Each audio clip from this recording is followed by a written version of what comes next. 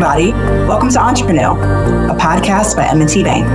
I'm your host, Deetra Miller, a Senior Vice President at M&T and a passionate advocate of multicultural and diverse small businesses. I love connecting entrepreneurs with resources and friends to help them succeed. This podcast aims to help entrepreneurs like you take that next step in your business. On each episode, we'll feature a fantastic multicultural and diverse entrepreneur or professional. Join us as we engage, empower, and share knowledge with entrepreneurs along their journey. We hope you enjoy. In this episode, we'll discuss how to build an ecosystem that is both effective and scalable to help you grow your business. So imagine this you have a great business idea, your business is up and running, you are building your customer base, you are making money. Uh, now you need to place your money somewhere. You may even be thinking about how to access credit to help you with your growing expenses. And you may also need some professionals to help you with the day to day operations of your business. So now what? Featured in this episode, we're going to be talking to small business advisor Pat Marshall. Thank you, Deetra, and thank you for having me here. I'm so excited for your venture with this podcast. I think it's great because I know you're so passionate about small and minority owned businesses. We are so looking forward to uh, getting some of your insight on how to go about building a support system, building a network for your business. So, as we get started, we really love for our audience to know a little bit about your background and why you're excited to be with us today. So, um, a little bit about my background is I've been in banking for, I was in banking for over 20 years, primarily with one institution, and then I transferred to a smaller one in the latter part of my career. And um, have done everything from being a credit analyst on the commercial side to being a mortgage officer, doing public policy as a lobbyist for about seven years, and also running a minority business development group at our company for about five years. So the, my background is pretty diverse in the banking area. Um, I've got to work on the cost center side and the profits for profit side, so that's been helpful. That's and great. Right now, I've been I'm a business advisor with the Goldman Sachs 10,000 Small Businesses program, and just love working with businesses, small businesses in particular, to help them, you know, identify their growth and work through some challenges to get to the other side and see some strong growth. So that's what I'm doing now.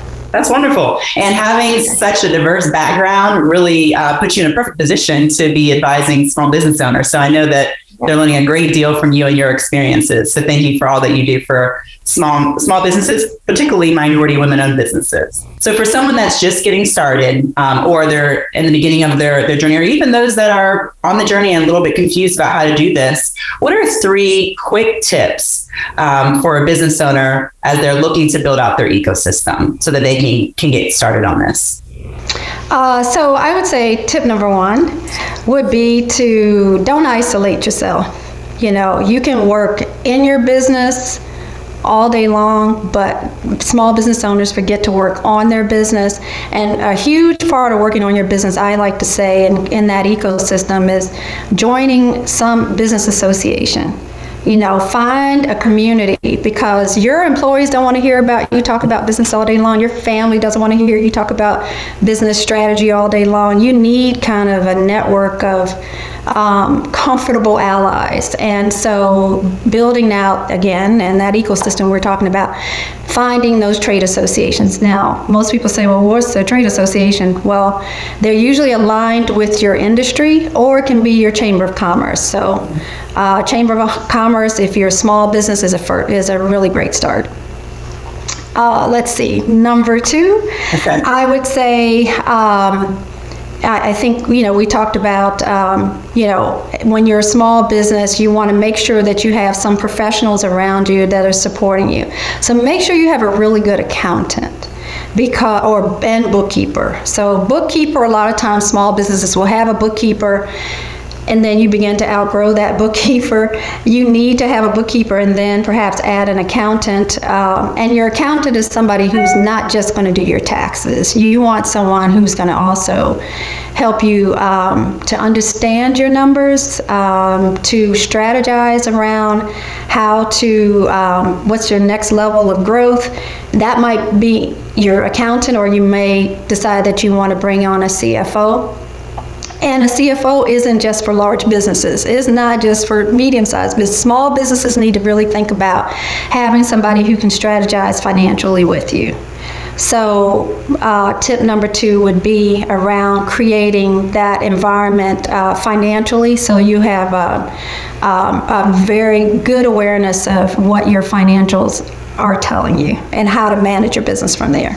Okay. Uh, and and I, I think as a bank, you all will appreciate that because you see from the other side, you when businesses come to establish their banking relationships, you want them to have some knowledge of their business and maybe even um, some projections as to where they're going to go. And without understanding your numbers, it's really hard to do. Um, number three, I would say professional development. So find a an organization, not just your chamber. That what I talked about. That's your business allies who you can you know um, begin to network with. But you want to find um, uh, you want to keep up on your leadership skills. And so professional development is a good thing. You know, we help you. Um, you know, fortify your business by helping you learn some things, identify your pain points, and then, you know, perhaps uh, fill in some of the gaps. Maybe you're not strong in marketing and you want to take a class in marketing. Maybe you're not strong, as I go back to financials, you want to take a class in financials.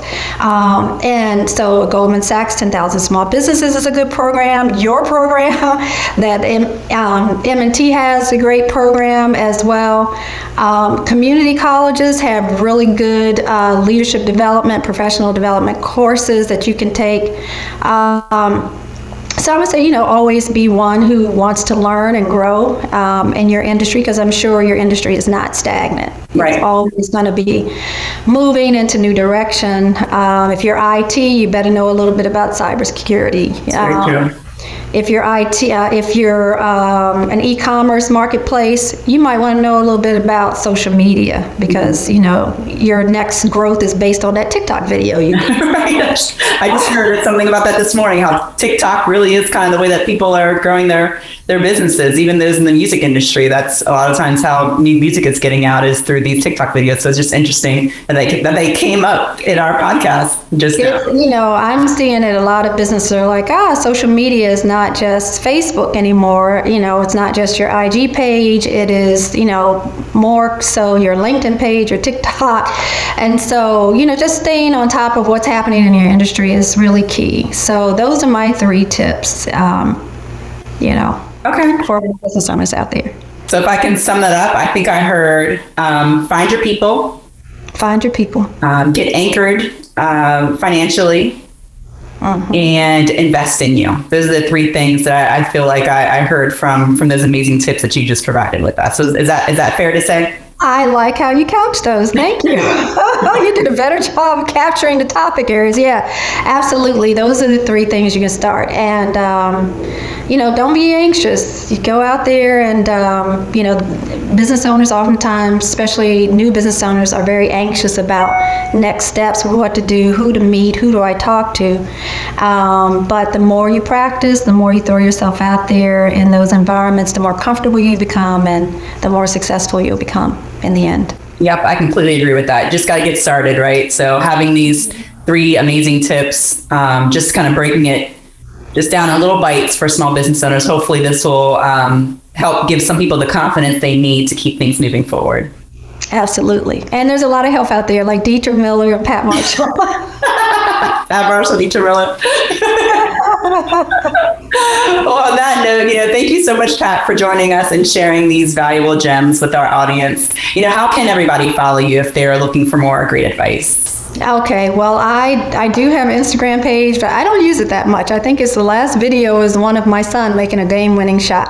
Uh, but on LinkedIn is for sure how most people can reach me. So, LinkedIn, I'm at Patricia Ward, W A R R, Marshall.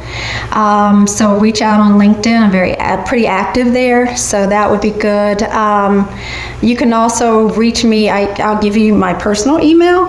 Uh, it's marshallpw at gmail.com. Um, I am working on my own website for my business advising business, and um, I'll have that for you in the next podcast. That's great. And so we'll hopefully be able to share out that information for our audience so that they can reach out to you if they have any um, questions for how to continue to, to build their business and, and just continue to move along on their journey towards growth.